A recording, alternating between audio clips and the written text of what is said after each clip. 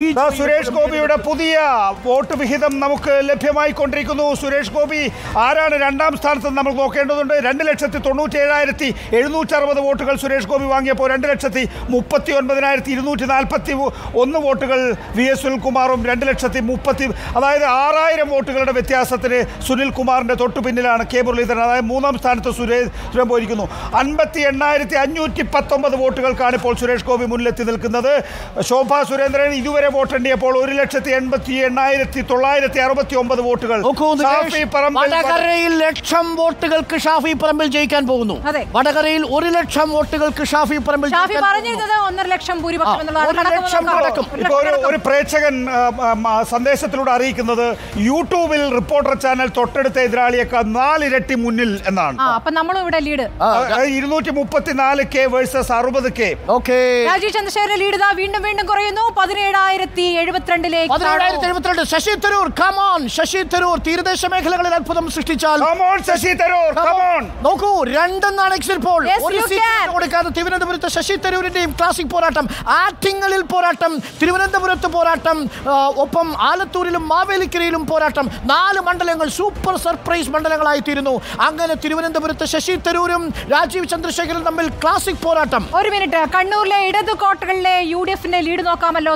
തളിപ്പറമ്പിൽ നാലായിരത്തി നാനൂറ്റി എൺപത്തി ഒന്ന് വോട്ട് ധർമ്മടത്ത് പിണറായി വിജയന്റെ ധർമ്മടത്ത് മൂവായിരത്തി ഇരുന്നൂറ്റി അൻപത്തി ഒന്ന് വോട്ട് മട്ടന്നൂരിൽ കെ കെ ശൈലജയുടെ മട്ടന്നൂരിൽ അഞ്ഞൂറ്റി എൺപത്തി ഏഴ് വോട്ടുകൾക്കാണ് യു ഡി എഫ് ലീഡ് ചെയ്തിരിക്കുന്നത്. കെ സുധാകരൻ ലീഡ് ചെയ്തിരിക്കുന്നത്.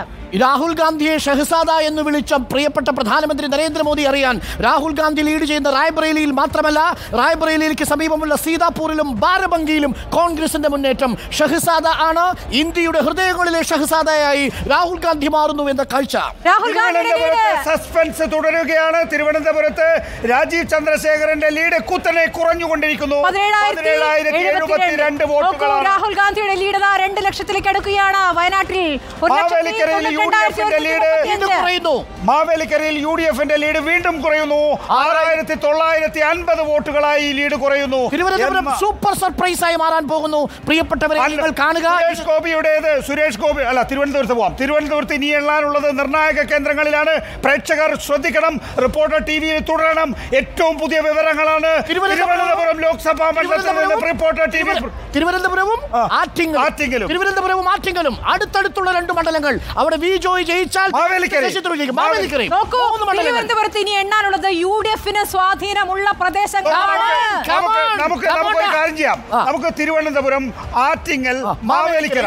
ഈ മൂന്നിലും പ്രാധാന്യം നൽകിക്കൊണ്ടുള്ള ഒരു റിസൾട്ട് ആയിരിക്കും ഇനി പ്രിയപ്പെട്ട പ്രേക്ഷകരെ ശ്രദ്ധിക്കൂ ദേശീയ തലത്തിൽ വലിയ മാറ്റങ്ങൾ സംഭവിക്കുമ്പോൾ ഞങ്ങൾ അതിലേക്ക് വരാം. അതിനു മുൻപ് ഇനി എണ്ണാനുള്ളത് തിരുവനന്തപുരത്ത് തിരുവനന്തപുരത്ത് നിർണായക? കേന്ദ്രങ്ങൾ. ഇതാ രവീന്ദ്രൻ വോട്ടെണ്ണലിന്റെ ആദ്യഘട്ടത്തിൽ പിന്നിലായിരുന്ന പന്നിൻ രവീന്ദ്രൻ നേരിയ മുൻതൂക്കം ഇപ്പോൾ തിരുവനന്തപുരത്ത് കയറട്ടെ കയറി വരുന്നു കയറി വരുന്നു കയറി വരുന്നു എന്നുള്ളത് അതേസമയം സുരേഷ് ഗോപിയുടെ ലീഡ് അറുപതിനായിരത്തി എഴുന്നൂറ്റി നാൽപ്പത്തി മൂന്ന് പത്തനംതിട്ടയിലെ പത്തനംതിട്ടയിൽ യു ഡി എഫിന്റെ ലീഡ് അല്പം ഇരുപത്തി കുറയുന്നു. ഓരായിരത്തി അല്പം എഴുന്നൂറ്റി ആറ് കുറയുന്നു. അല്പം കുറയുന്നു. നമ്മൾ തിരുവനന്തപുരത്തേക്ക് ഫോക്കസ് ചെയ്യുന്നു. ചാലക്കുടിയിൽ യു ഡി എഫിന്റെ ഭൂരിപക്ഷ ലീഡ് ഇരുപത്തി ആറായിരത്തി ഒരുന്നൂറ്റി എഴുപത്തി ഏഴ് തിരുവനന്തപുരത്തെയും ആറ്റിങ്ങലിലെയും നമ്മുടെ റിപ്പോർട്ടർമാരുടെ പ്രത്യേക ശ്രദ്ധയ്ക്ക് ഓരോ നിമിഷത്തെയും കണക്കുകൾ പ്രേക്ഷകരിലേക്ക് എത്തിക്കൂ. അതൊരു സൂപ്പർ സസ്പെൻസ് ത്രില്ലറായി മാറും. കോഴിക്കോട് എം കെ രാഘവന്റെ ലീഡ് ഒരു ലക്ഷത്തി ഇരുപത്തി ആയിരം കോഴിക്കോട് വിട്ടു. തൃശ്ശൂർ വിട്ടു ഇതെല്ലാം വിട്ടു. നമുക്കിനി എടുക്കേണ്ടത് തിരുവനന്തപുരമാണ്.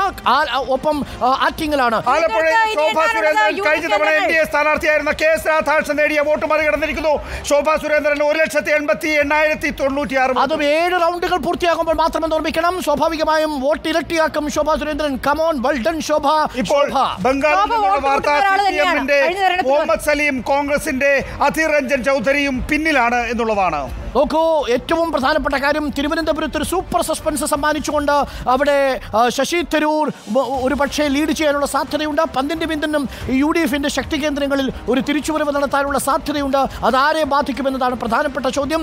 നിലവിൽ പതിനേഴായിരം വോട്ടുകൾക്ക് മാത്രമാണ് രാജീവ് ചന്ദ്രശേഖർ തിരുവനന്തപുരത്ത് ലീഡ് ചെയ്യുന്നത്. നഗരഹൃദയങ്ങളിലെ വോട്ടെണ്ണി കഴിഞ്ഞ് യു ഡി എഫ് കേന്ദ്രങ്ങളിലേക്ക് പോകുമ്പോൾ ശശി തരൂർ ഒരു വലിയ തിരിച്ചുവരവ് നടത്തുമോ എന്നതാണ് അറിയേണ്ടത്. ചാലക്കുടിയിലെ യു ഡി എഫിന്റെ ലീഡ് ഇരുപത്തി എണ്ണായിരത്തി തൊള്ളായിരത്തി അറുപത്തി എട്ട് ഇടുക്കിയിൽ ഡീനിന്റെ ലീഡ് ഒരു ലക്ഷത്തി പതിനേഴായിരത്തി നാനൂറ്റി അറുപത് പൊന്നാനിയിൽ സമതാനിയുടെ ലീഡ് ഒരു ലക്ഷത്തി പതിനെണ്ണായിരത്തി തൊള്ളായിരത്തി അറുപത്തി ഏഴ് കണ്ണൂരിൽ കെ സുധാകരന്റെ ലീഡ് അര ലക്ഷം കടന്നു അൻപത്തി ഓരായിരത്തി ഇരുന്നൂറ്റി പതിനെട്ട്.